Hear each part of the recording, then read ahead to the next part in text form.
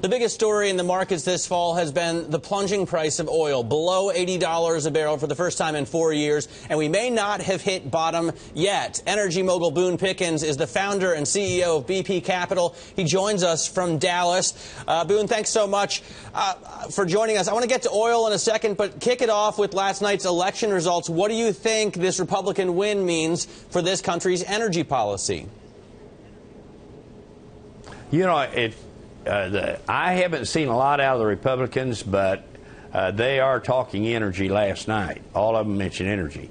And you're going to have to address the Keystone Pipeline, which the president's ignored. And uh, you've got export of crude has to be addressed also. You've got this uh, Strategic Petroleum Reserve, the SPR, that's got to be uh, looked at. And there are so many energy things that are just sitting there that haven't even been uh, discussed. And, you know, they're big deals. There's no question about it. And you've got LNG, liquefied natural gas, is, is an issue too. So uh, lots of stuff to do. But let me comment about this. You know, I've been around a long time, and I voted for, I never voted for president for anybody but a Republican. But if you go back and look, every time a guy is elected, it's because of the of the president just before him. Reagan would wouldn't have been elected unless you had Carter.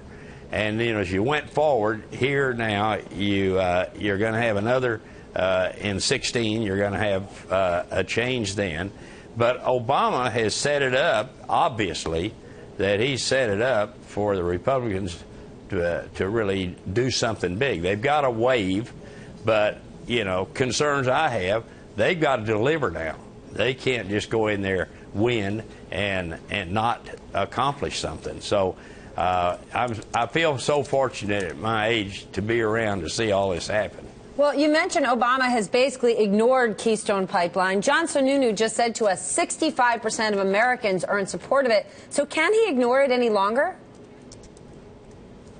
No, you can't ignore it, but but I can tell you, I was in Toronto uh, a week ago. I was in Calgary the week before, and the Canadians are getting tired of waiting around for us to do something. That has been on Obama's desk six years.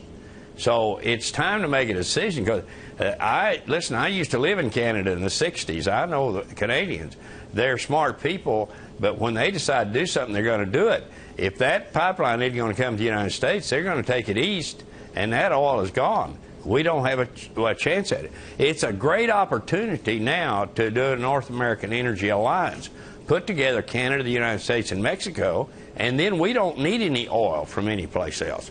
You've got it. You've taken care of the security, uh, national security uh, for the United States with that kind of alignment. And the Canadians and the Mexicans would be more than happy to make the deal. Boone, Senator Sununu says you owe him a dollar in a bet on the price of oil. Uh, what do you think about the drop below $80 a barrel? Are we going to go any further? I mean, what would a Keystone Pipeline deal, for example, do to the price of oil? Well, Keystone Pipeline, uh, it won't have anything to do with the price of oil. You, you've got you've got situation now. You have more oil than you have demand. Consequently, the price comes down. Where did the oil come from? It came from the United States. The industry in the United States has done an unbelievable job uh, for who? Not America. They've done it for themselves, but America is also one of the winners. But we have more oil. Uh, we have increased oil production in the United States, and there are other places, small places around the world, have done the same. But the United States is the one that's oversupplied the world with oil. And uh, so it's interesting. There's 92 million barrels of oil produced every day in the world. We use 20% of it, 18 million barrels. We're still importing about half of the oil that we use, but more than half of the half that we uh, import comes from Canada and Mexico. But we have cut OPEC down from 7 million barrels a day to 3 million barrels a day. We need to get rid of OPEC. OPEC is the problem. When you're buying that OPEC oil out of the Mid East, you are going to be paying the tariffs too, because they pay the tariffs at ransom, and that's your money that takes care of both sides of the war. Let's put a get out of OPEC oil. Let's put a number on it. How low do you think the price of oil can go? Oh, let's talk about both oils. You're talking about uh, Brent North Sea, and the Arab basket crude is priced off of Brent North Sea. Then you've got West Texas Intermediate, which is our uh, national price here in the United States. And it's about $4 cheaper now than Brent is. So you're looking at, I'm going to answer your question.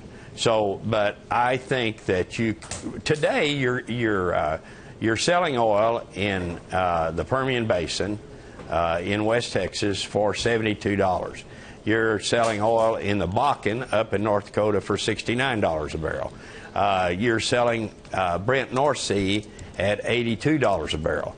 How much lower can you go? You could go down to, I don't think you'll go down to $70, but you could get down in the 70s. But you've got a very important OPEC meeting coming up in uh, uh, this month, I think on the 27th of November you'll find out there if they're going to cut supply and uh, to get price up. And uh, but advice to the industry in the United States, you you've drilled so many wells, you've been so efficient that you have more oil than we need right now, and consequently the price has come down. When I does... think that that do, do you believe the declining price of oil could start to create geopolitical instability? Can Russia sustain their economy with oil prices dropping and dropping? Or is the answer well, who cares? dropping and drop. Yeah, that's right. I mean, the consumer gets is uh, is the gets the payoff with lower price for oil. Uh, natural gas prices have been you know low for God knows how long now because we over drilled, got too much natural gas. You've kind of done the same thing for oil. Uh, I think the oil guys are going to be smarter. They'll slow down on their drilling and consequently let demand. But we counted on demand being up a million three. It's up half that. But you're you're coming, you know, give it a chance. This has only been going on for 30 days, so uh, the the world hadn't changed. But uh, we, we'll see how it comes out because OPEC has got to have uh, a better price for oil than $80 a barrel. Hey, uh, Boone, let me ask you about natural gas. Uh, you say it's been too low here, but the last week we've seen a 20% jump in the price of natural gas. Just, is that just the cold snap, or do you think this is a sustainable trend? I think it's it's weather. I mean, natural gas is a weather commodity and they're talking about cold, uh, really cold here in the next two or three weeks. And we had a very cold winter last year. You could have the same thing again this year. The weather patterns are setting up for that, and uh, whether you can do or not. But uh, na- natural gas is so cheap that you know, 20% increase. Yes, it helps the producers, doesn't hurt the consumer and uh, and that's all good. I don't know whether it'll hold or not. is weather the problem uh, with Oklahoma State as well? They've had a rough season this year. No, uh, have they? I, I haven't kept up with the. no, we've got a we got a situation over there that we uh, our offense can't do anything. Went 14 quarters without a touchdown. And uh, I don't know what, what the problem is. They haven't called me in for any advice. I know that.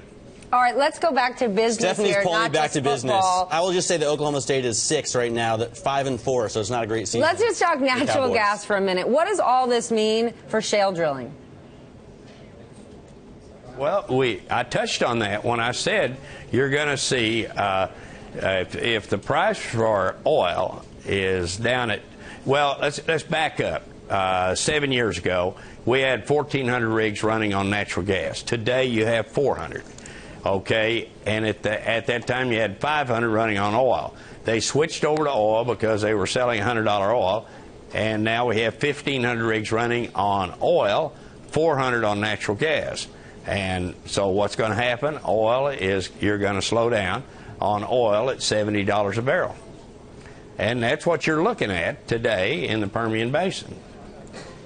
All right, all right. Uh, Boone, I wonder what, what, you think then is the future. We talked about oil, we talked about natural gas. A lot of people have said coal is just uh, dying a slow death right now. What do you think about the future of coal? Because it's important, obviously, for a lot of workers in in uh, in the East, in the Midwest East. I think of the Midwest. You probably think of it as the East. Well, you remember what I'm for. I want to get on our own resources and get off OPEC oil. It's that simple. Right. And I think with the Republicans in here, they may uh, decide that's a good idea. And coal is one of our resources. You're still uh, uh, 40% of your your power generation comes off coal, and uh, I don't want to see that shut down. They've cleaned up coal. Coal is fine. We we're the cleanest nation in the world, and we still have these environmentalists screaming and hollering about you know shut down coal and shut down fossil fuels and everything else. But 92 million barrels a day of oil is what the world produces. 70% of that's transportation fuel. And I've asked one of the environmentalists. I said, okay, say you shut down fossil fuels and we don't use fossil fuels for transportation. What is the solution? And this guy told me, and he's he's a real guy too. Uh, he's he told me he said, uh, look, he said you turn it over to the government, and their research will tell us what fuel to use. Okay, well, how do you like that answer? It's not a very hold good on. answer. How That's do what like, we. How, how do you like that answer? You turn it over to the government, and the government tells you what to use? That seems to make no sense. It's a ridiculous I said, answer. How do you like that yeah, answer? It's a ridiculous answer, but it's kind Yeah, of a hypothetical a- guy too. So, I mean, No, it's not a hypothetical guy. It's Tom Steyers who it was. So uh, he's there. He's important to the Democrats. He's important to the liberals. He has his own ideas. He's putting his money up, and he should be allowed to talk. I just don't agree with him. Is the point? You're going to use fossil fuels for the next hundred years. all right, we'll All get the two Boone, of you hold together. on. We have to leave it. Who would you like? Who would you like to see as our next president? I'm too old. That's not true. So that Give us an answer. The uh, I don't know. Let's see. Let's see how it unfolds.